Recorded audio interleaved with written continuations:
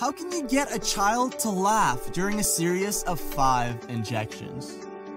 Or help them get through a painful burn dressing change without needing sedation?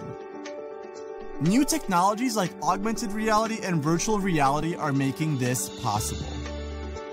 You've probably heard of these technologies, but you might be wondering, what exactly are augmented and virtual reality?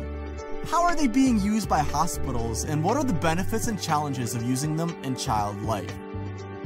We'll answer all of those questions and more in this video. Let's jump right into it. Both AR, which is augmented reality, and VR, which is virtual reality, are highly immersive, highly distracting, and fun for patients. Virtual reality uses a headset to immerse the user in a 3D environment that totally covers their field of vision. The user puts on a headset and usually headphones, and instead of being in a hospital room, they're now swimming under the sea or enjoying some other distracting and engaging experience.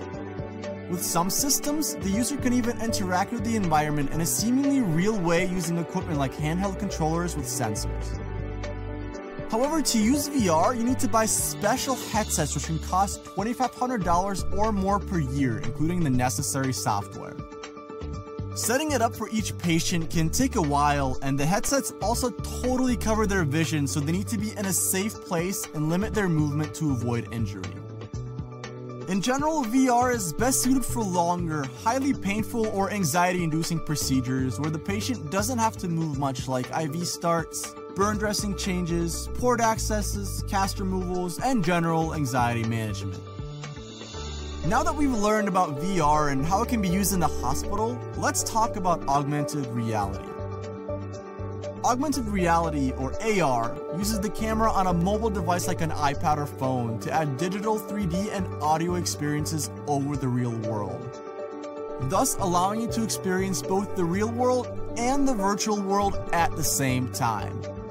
Augmented reality can also be delivered on transparent headsets like Google Glass. AR is highly immersive, but it also lets the user stay connected to the real world and to the parents or medical staff through sight and sound. Because the user still sees the real world, they can move around while using AR tools, meaning that the tools can be used to encourage ambulation or participation in therapy exercises. Because the user still hears the real world by using AR, the patient can easily hear instructions from the medical staff and respond with feedback during procedures like IV starts, blood draws, and more.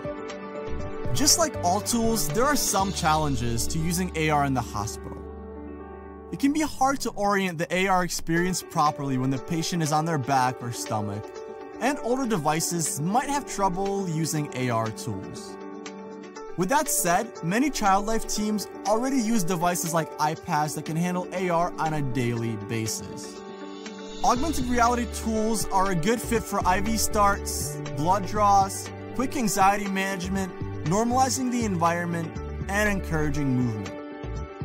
Check out spellboundar.com to see augmented reality tools in action and learn more about how to use it for pain and anxiety management.